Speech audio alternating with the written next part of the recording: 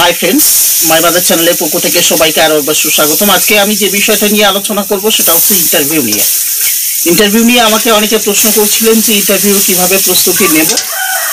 তো একটু বলি ইন্টারভিউতে মূল যে সমস্যা সেটা হচ্ছে আমরা ইন্টারভিউ দিই ঠিকই, কিন্তু তার ভেতরে একটা সমস্যা আছে সমস্যা হচ্ছে, অর্থাৎ যে সমস্যা নিয়ে আজকে আমি আলোচনা করব, সেটা হচ্ছে মুদ্রা দোষ ইন্টারভিউয়ে যাওয়ার পরে আমাদের কিছু কিছু মুদ্রাদোষ কিন্তু সেখানে প্রকাশ পায় এবং এই মুদ্রাদোষ কিন্তু এমনও হতে পারে যে আমরা, আমাদের চাকরির ক্ষেত্রে সমস্যা করতে পারে।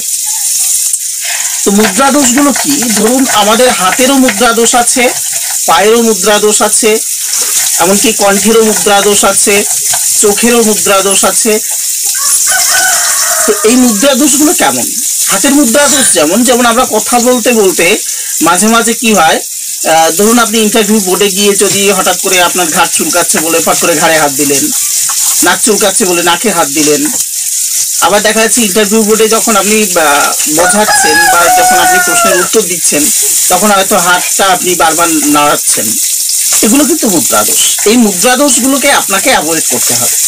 এই মুদ্রা দোষগুলো কিন্তু প্রত্যেক, প্রতি পদক্ষেপে ফলো করে। এবং আমাদের এই যে হাতের মুদ্রা দোষ এটা বন্ধ রাখতে গেলে কি করতে হবে? সবসময় যখন আপনি ইন্টারভিউ বোর্ডে ঢুকবেন, তখন আপনার হাত দুটো সামনের দিকে রাখবেন। ফাইলটা সামনে রেখে হাত দুটো ফাইলের উপরে রাখবেন, দেখবেন আশা করি অনেকটা মুদ্রা দোষটা কাটাতে পারবেন এবং চেষ্টা করবেন এই মুদ্রা দোষটা কাটানো যদি থাকে, তো এটা কাটানোর চেষ্টা করবেন এবং পরে বলি পায়ের মুদ্রা দোষ পায়ের কিছু কিছু মুদ্রা দোষ থাকে, যেমন আমরা বাড়িতে বসে পা নাচাতে থাকি। এই যে পা নাচানো একটা অভ্যাস, এইটা থেকে কিন্তু পরবর্তীতে যখন আপনি ইন্টারভিউ বোর্ডে যাচ্ছেন, তখন কিন্তু দেখা যাচ্ছে বেখালে আপনার পা নাচ, নাচাচ্ছেন আপনি। বা এমনও হয়, আমরা মাঝে মাঝে ভয় পেয়ে দ্রুত মানে এতটাই ভয় পাই যে পা গুলো কাঁপতে থাকে। তো এই মুদ্রাদোষ কিন্তু থাকলে হবে না। এই মুদ্রাদোষটাও কাটাতে হবে এবং এই কাটানোর একটা পন্থা আমি বলে দিই। যে যদি পা নাচানোর কোনো মুদ্রা দোষ থাকে, তাহলে কি করবেন?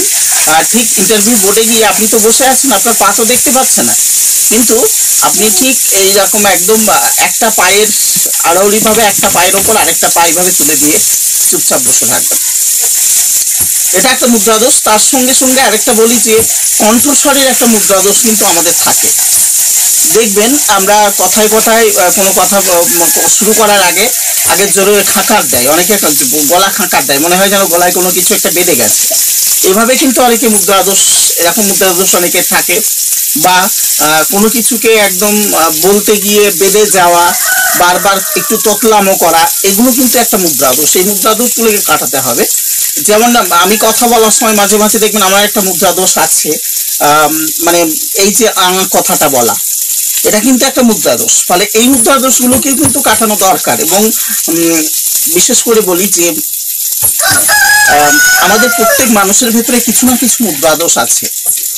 তো যেহেতু এগুলো আমাদের হয়ে যায়, হয়তো অটোমেটিক্যালি দীর্ঘদিন মানে করতে করতে এটা হয়েছে, তো সেটাকে কি করা যায়? সেটাকে একটু ইন্টারভিউ জন্য যে পাঁচ মিনিট বা দশ মিনিট ধার্য আছে সে পাঁচ মিনিট বা দশ মিনিটের জন্য কিন্তু আমাদের এই মুদ্রাদোষকে আমাদের কাটাতে হবেই।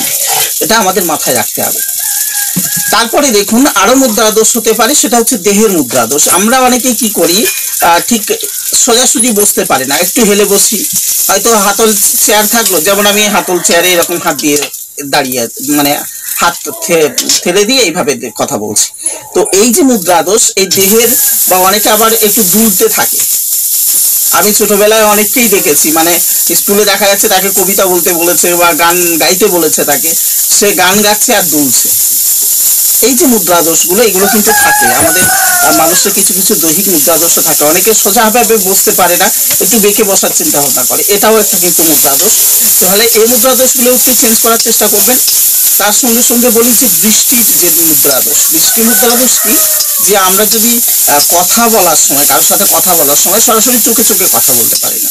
হয়তো একটু নিচের দিকে তাকিয়ে কথা বলছি বা একটু আকাশের দিকে তাকিয়ে কথা বলছি। কিন্তু এই দৃষ্টিগত যে মুদ্রাদোষ সেটা কিন্তু ভাইটাল, বিশেষ করে ইন্টারভিউ এর ক্ষেত্রে। কারণ কি? এই মুদ্রাদোষ যদি আপনার ভুল হয় বা আপনি ধরুন অ্যান্সার দিচ্ছেন যে টিচার বা যে এক্সামিনার সামনে আপনি অ্যান্সার দিচ্ছেন, তার সবসময় তার চোখে চোখে কথা বলুন। চোখ অন্যদিকে ঘোরানোর কোনো দরকার নেই। সঙ্গে সঙ্গে তার সবসময় তার চোখে চোখে কথা বলুন, আশা করি ভালো হবে এবং এটাই চায় তারা পরীক্ষকরা, যে আপনি তার চোখে চোখে কথা বলবেন। তো এই মুদ্রা দোষগুলো এই মুদ্রা যেগুলো আমি আলোচনা করলাম, এগুলো আপনি একটু ভেবে দেখবেন বা আপনারা অ্যানালাইসিস করলে বুঝতে পারবেন। আমার চেয়ে বেটার বুঝতে পারবেন আরও। নিজেরা যদি নিজেদের মুদ্রা দোষগুলো বুঝতে চান, আমি জাস্ট ছুঁয়ে গেলাম যে এই মুদ্রা দোষগুলো আমাদের সাধারণত থাকে। আর প্রত্যেকেই জানেন যে কার কি মুদ্রা দোষ আছে। তো এটা থেকে, এটাকে অ্যাভয়েড করতে গেলে বারবার কি করতে হবে? একটু আয়নার সামনে দাঁড়িয়ে নিজের মুদ্রা দোষগুলোকে যাতে অ্যাভয়েড করা যায়, সেই চিন্তা চেষ্টাটা কিন্তু করা যেতে পারে। কারণ এখন প্রত্যেকের বাড়ি আলমারি, শোকেস কম বেশি আছে। তাদের যে বড় আয়না, সে বড় আয়নার সামনে কিন্তু এটা করা যেতে পারে। যাদের বাড়িতে বড় আয়না নেই বা ছোট আয়না হলেও সেটাকে সামনে রেখেও কিন্তু এই মুদ্রা দোষগুলোকে চেঞ্জ করা যেতে পারে। তো আজকে ছিল মুদ্রা দোষ নিয়ে এইটুকু বলার। আবার নতুন কোনো ভিডিও নিয়ে, নতুন কোনো কথা নিয়ে নিশ্চয়ই দেখা হবে। ততক্ষণ সবাই সুস্থ থাকুন, ভালো থাকুন best of luck all the best